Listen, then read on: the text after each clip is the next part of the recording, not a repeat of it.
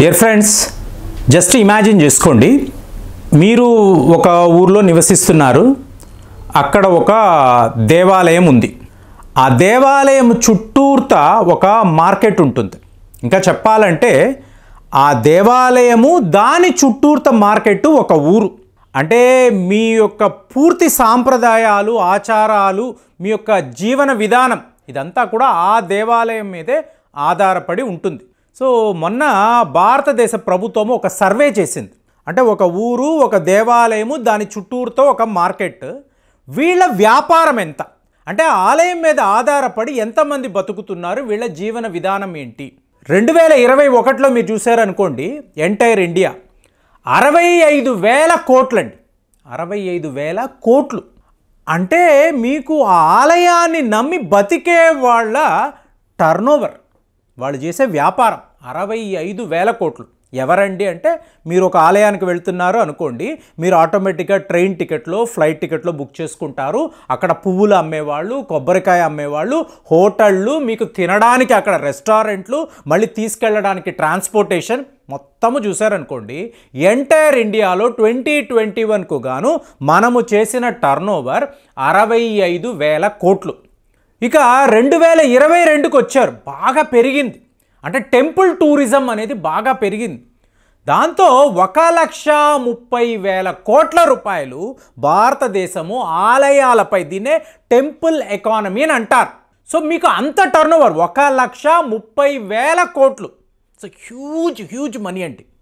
అంటే ఇప్పుడు ప్రస్తుతం ఉండే ఆలయాలు ఒకప్పుడు ఉండే ఆలయాలు టోటల్గా వేరేలాగా. అంటే ఆ ఫంక్షనింగ్ సిస్టమ్ ఆపరేషనల్ సిస్టమ్ టోటల్గా వేరేలా ఉండేది. ఇప్పుడు ప్రస్తుతం మనం వెళతాము ఏవో పూజలు చేసుకుంటాము మనం ఆ చుట్టూరుతా ప్రదక్షిణ చేస్తాం మళ్ళీ వచ్చేస్తాం. కానీ ఆ రోజుల్లో ఆలయాలు అన్నారు అనుకోండి ఒక అడ్మినిస్ట్రేషన్ బ్లాక్ అండి. అందుకే రాజులు ఎంటైర్ ఎంటైర్ గ్రామాన్ని గ్రామ గ్రామాన్ని ఊళ్ళలో ఉండే జనాలను మనం ఆలయం కట్టాలి మీరు రండి అంటే ఆ ఊళ్ళలో ఉన్న ప్రజలందరూ వచ్చి ఆలయ నిర్మాణం కోసము వాళ్ళు అహర్నిశలు డే అండ్ నైట్ వర్క్ చేసేవాళ్ళు. ఇది ఒక అడ్మినిస్ట్రేషన్ బ్లాక్ మాత్రమే కాదు మీ యొక్క ఖజానా కూడా. ఇప్పుడు పద్మనాభ స్వామి ఆలయం గురించి మాట్లాడతాం. ఇంతంత బంగారం ఎక్కడి నుంచి వచ్చింది?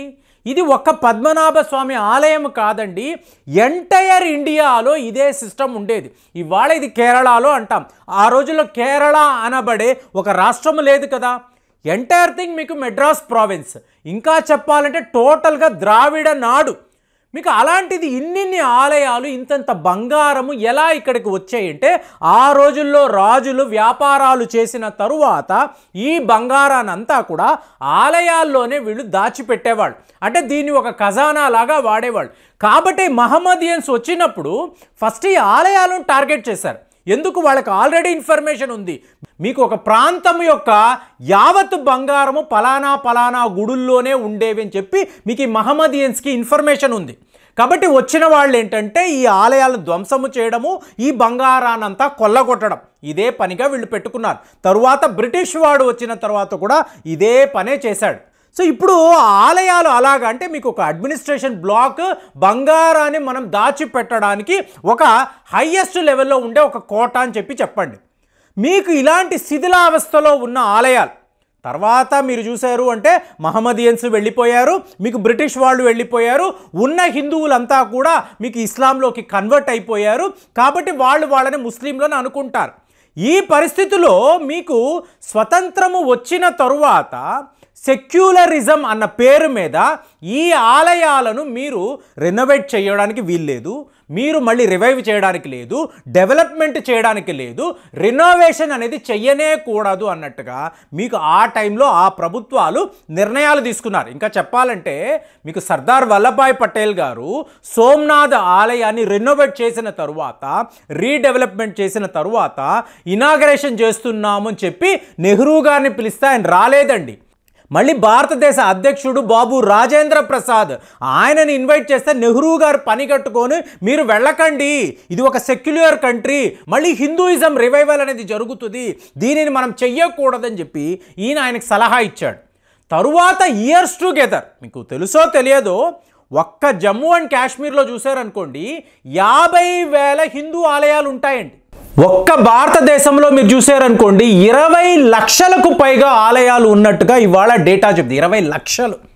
అంటే చూడండి ఒక్క జమ్మూ అండ్ కాశ్మీర్లోనే యాభై వేల ఆలయాలు.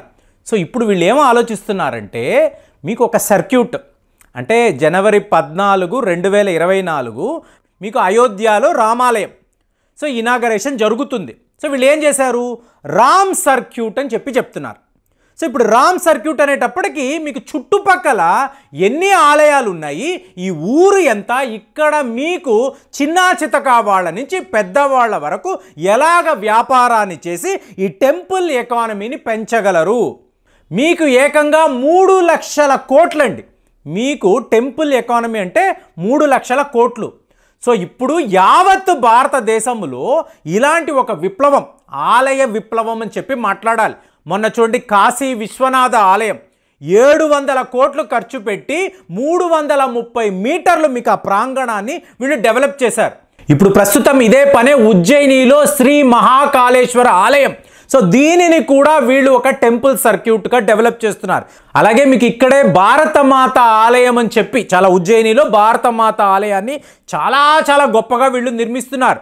మీరు ఇక్కడ నుంచి చూశారనుకోండి అంటే మీకు ఒక ఉజ్జయిని అన్నాను ఒక వారణాసి అన్నాను మధ్యప్రదేశ్ అలాగే మీకు తమిళనాడులో మీకు మధురై మీనాక్షి గుడి ఇవన్నీ మీరు చూసుకున్నారు అనుకోండి మీకు గొప్ప గొప్ప గుళ్ళండి. అంటే అసలు ఆ ఆర్కిటెక్చర్ మార్వెల్ మీకు వీళ్ళు ఆ ఇంజనీరింగ్ చేసిన విధానము ఎక్స్ట్రాడినరీగా ఉంటుంది. కాబట్టి ఇండియాలో ఉండే ఆల్ ఇంపార్టెంట్ టెంపుల్స్ ఎక్కడెక్కడ ఉన్నాయి? వీటికి కావలసిన రోడ్డు మార్గాలు రైలు మార్గాలు మీకు అలాగే ఎయిర్పోర్ట్లు ఇంకా అవసరమైతే అయోధ్య లాంటి ప్రాంతానికి ఇంటర్నేషనల్ ఎయిర్పోర్ట్ని కూడా వీళ్ళు నిర్మిస్తున్నారు. ఇక్కడతో అయిపోయిందా అంటే బద్రీనాథ్ ధామ్ దగ్గర మీకు డైరెక్ట్గా రైలు మార్గాలు మీకు కేదార్నాథ్లో మొన్న ఆదిశంకరాచార్యుడికి సంబంధించిన సమాధి మళ్ళీ వీళ్ళు అక్కడ ఒక నవ నిర్మాణం అనేది చేశారు.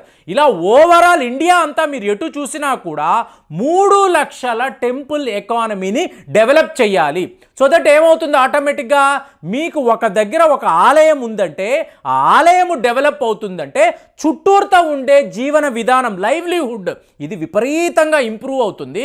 ఒక్క ఆలయమో లేదా మీకు వాటికి సంబంధించిన వ్యవహారాలు కాదండి. ఇది మన జీవన విధానము. దీనిని ఇంప్రూవ్ చేయాలి మీకు చుట్టుపక్కల ఒక పువ్వులో అమ్ముకునే అమ్మాయి కూడా మంచి ఆదాయాన్ని నేను ఇవాళ చూస్తున్నానని చెప్పి చెప్పాలంటే మీరందరూ ఆలయానికి వెళ్ళాలి. సో అలాంటి ఒక న్యూ ఇండియాని ప్రస్తుతం వీళ్ళు డెవలప్ చేస్తున్నారు. దీనికోసం వీళ్ళు వేల కోట్లు ఖర్చు పెట్టడానికి సిద్ధంగా ఉన్నారు. ఎందుకు? మీకు రెవెన్యూస్ కూడా అలాగే ఉంటాయి. ఇక్కడ దౌర్భాగ్యకరమైన విషయం ఏంటంటే మీరు ఒక ఇస్లామిక్ బోర్డ్ అనండి లేదా మీకు ఒక గురుద్వారా అనండి క్రైస్తవ మిషనరీ అనండి. వాళ్ళకు కావలసిన ఆదాయము డొనేషన్స్ డెవలప్మెంట్స్ వాళ్ళకి వాళ్ళే చూసుకుంటారు. వాళ్ళ బోర్డ్సే వాటిని చూసుకుంటాయి. కానీ ఇక్కడ హిందూ ఆలయాలు అన్నప్పుడు మీకు అలాంటి ప్రక్రియ లేదు.